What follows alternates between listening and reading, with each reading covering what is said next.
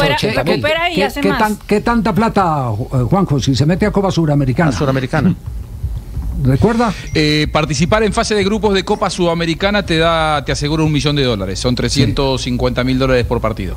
350 mil dólares. Se libra la partido. platica. Le resta Ah, los sí. 80 mil del Ah, inversión. Ahora, ahora, ¿qué tantas posibilidades hay de ganar?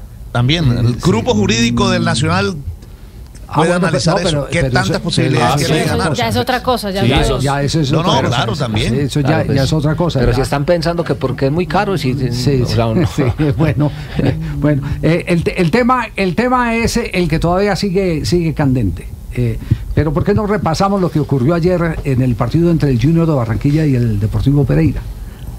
Porque el arbitraje de, de Roldán solo tuvo un lunar que para mí es un lunar grandísimo.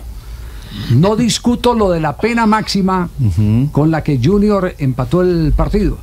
La falta contra, contra Enamorado. enamorado. No, no la voy a discutir, aunque hay diversas lecturas.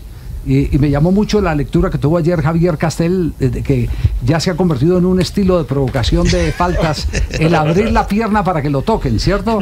¿Todavía tiene el Sí, mismo sí. pensamiento, Castel? No. Sí, sí, claro, esa Bueno. vive- viveza del jugador pone el, al pie y como hoy cualquier mínimo contacto que hay, cualquiera, este, ya enseguida el bar y enseguida la cámara lenta desfigura la imagen y eh, ahí Sí. miran que el zapato está pegado con el otro zapato, penalti. Entonces el jugador lo sabe hoy más que nunca y claro, en el partido con Equidad la fecha pasada eh, contra Junior, Equidad Junior en techo, partido que me tocó, Sí. lo, lo fui a ver para, para ver el partido de fútbol.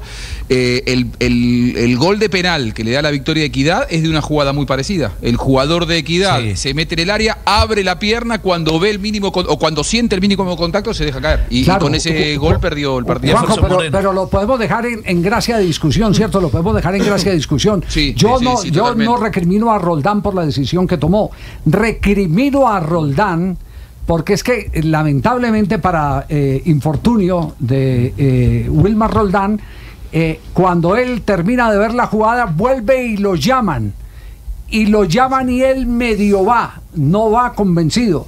Y resulta que le están pasando la jugada anterior De donde nace esa de acción. donde nace la acción que termina en penalti, es decir, que tenía que devolverse, exactamente, tenía que devolverse la, la PP, Sí. tenía que devolverse, donde eh, Chará está sujetando a un rival. A Johnny Vázquez. A Johnny Vázquez. A Johnny Vázquez, Exactamente, y ahí se origina en esa falta la jugada que termina en la acción de gol. Y desestimó eso. La, la desestimó Sí, porque, total, bueno, pero, pero- pero son licencias que se da a Roldán y que le, y se dejan en, en la Federación Colombiana de Fútbol que, que se sigan dando porque se trata de Roldán.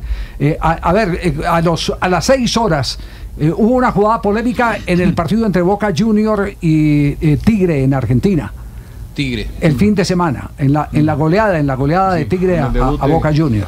A las seis horas estaba el, el bar en acción. A las seis horas. Eh, llámese como se llame el árbitro. Aquí no.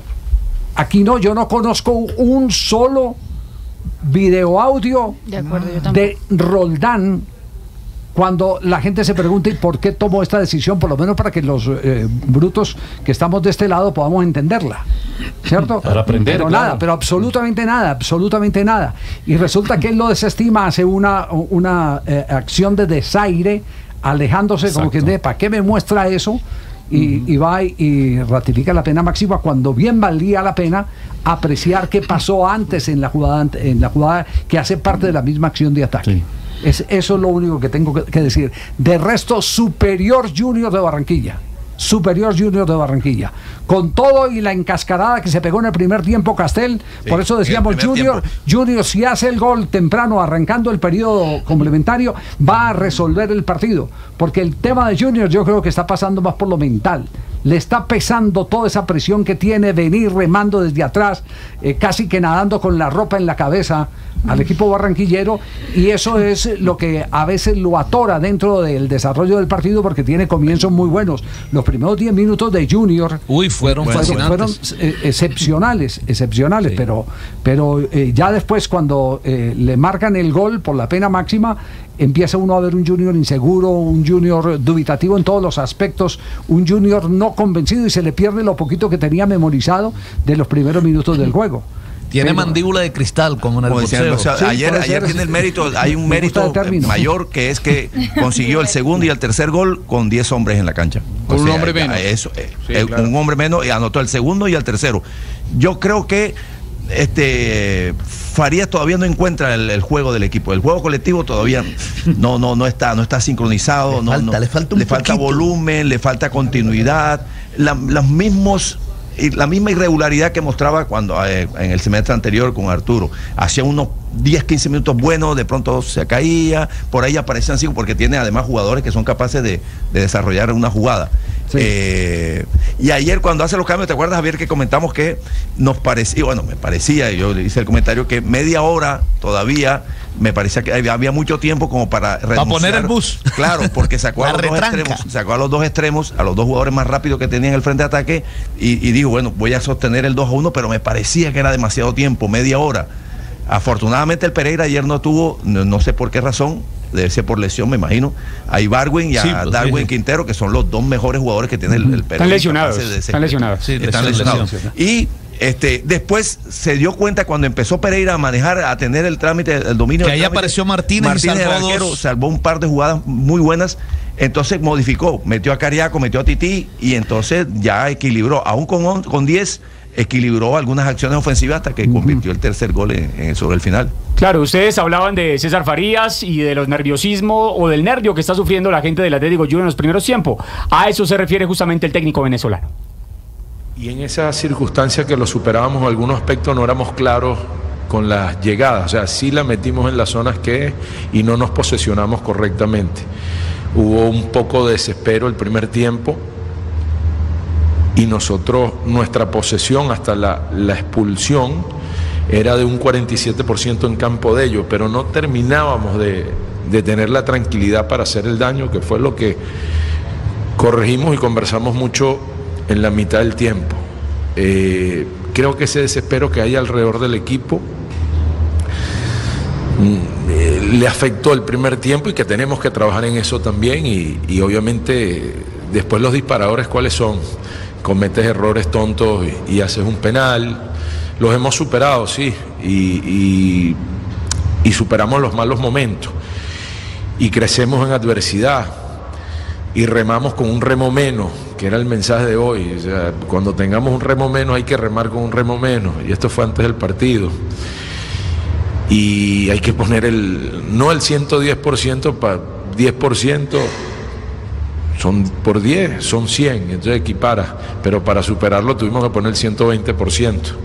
Entonces no le puedo criticar más allá de los errores a nuestros jugadores, el, el esfuerzo que ponen por su camiseta y entender que el último que se rinde es el que gana. Y nosotros estamos en esa lucha para hacer lo que pase. Doblete de Carlos Vaca fue y lo celebró con la gente de la Tribuna Oriental en el Estadio Metropolitano de Barranquilla y aprovechó en conferencia para enviar un recadito a los que suelen criticar al goleador del cuadro tiburón. Nada, yo qué le voy a decir, cada uno tiene su opinión. Yo solo confío en mi trabajo, la fe puesta en Dios y, y en lo que tengo para dar. Voy encontrando las sensaciones que quiero, tengo la confianza de, del profe porque sabe que, y el cuerpo técnico porque sabe cómo, cómo trabajo yo en el día a día y ojalá que, que pueda seguir dándoles alegría a todo Junior, porque esos que también te critican son Junior. Entonces yo a ellos les respeto sus decisiones, cada uno da lo que tiene en su corazón.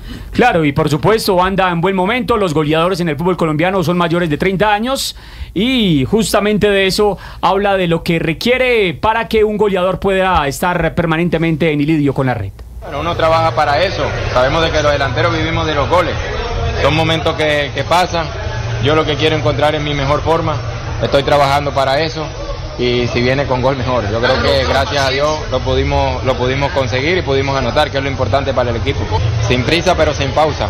Yo creo que el equipo va encontrando cada vez mejor y si es ganando, te llena de confianza. Tenemos que pelear por todo. Este equipo necesita seguir encontrándose, seguir encontrando el fútbol, las ganas, el deseo. Si te diste cuenta hoy, el equipo con 10 y luchó, trabajó, los compañeros que entraron desde el banco nos dieron una mano importante, sabiendo el desgaste que, que se había hecho enfrentando a un gran Pereira y bueno, lo pudimos dar vuelta y llevarnos la victoria. Oye, pero ¿quién es el que se mete con vaca aquí? Es Fabio, es Catelli. ¿Quién es el que se No, mete con no, vaca no, llave? no, Yo a no, vaca lo defiendo como sea, mi llave. No, nadie, no, nadie, no, no, unos hinchas que no pero- pero- pero lo mismo, mismos de juniorita y toda esa vaina. Pero está diciendo, no no, no, no, que está diciendo llave. No, no Además, no nosotros ya estamos clasificados, ya que tenemos los tres puntos. Clasi- clasificado ya. Ya, claro, tres, No, puntos que tenemos no. ahí en No, remojo.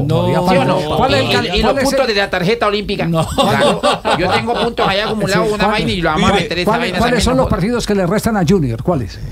Viene América ahora con, en casa. Ganamos. Ay, papá, chao. Chao.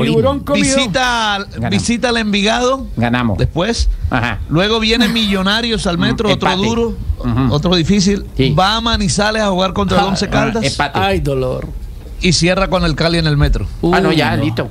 Hola, la tiene bien verde, hola. Oiga, a propósito, de lo, a propósito de lo de Carlos Vaca, uno, bueno, uno entiende las críticas o trata Sí. de entenderlas, pero mira Ah, eres tú, eres tú, este eres tú. En eres tú el que está- 2024. Eres, eres tú el que está contra Carlos Vaca. 22 no, jamás. Ah, bueno. 22 goles ha marcado en este año 2024. Ya muchos quisieran tener 22 goles. Es que, Y viene claro. de marcar Catel. más de 30 el año pasado. Lleva 22 goles en 46 partidos jugados mucho este promedio 2024, Carlos Vaca. Pero, pero atento, mire, eh, Ajá. una- siempre he dicho que una tú, cosa es Catel. criticar y otra cosa es critiquizar. Esa es la obligación.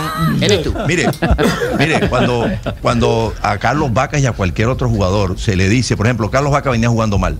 Eh, tenía todo este, desde que llegó Farías, realmente ha jugado mal. Ah, o sea que si eres tú. Pero, Ah, está entonces, ¿qué confirmado. pasa? Está confirmado. ¿Qué pasa? Está confirmado, está si diciendo. Déjame hablar, déjame Lo está hablar. diciendo que está jugando mal. Ahora, si, si, si alguien, si alguien se refiere a Vaca, eh, que no sé quién son, porque no, no, no sé, si alguien le dice, estás acabado para el fútbol, estás robándote la plata, viniste a robar, ya Retírate. esa- retírate, o- obviamente que eso eh, Ah, no, está no, bien. Eso, por aquí, por, por estos lados no Jamás. es. No, por estos lados no, no. tampoco hasta. Entonces, ahora si tú dices, No, no, pero Vaca hoy ha perdido la explosión cortica, el, el balón se le escapa, este, ya no participa, no. Ahora, a Vaca la mejor y tal vez la única aportación que yo creo que el cuerpo técnico, los hinchas, los directivos, todo él mismo le, le, le quiere entregar al Junior es gol.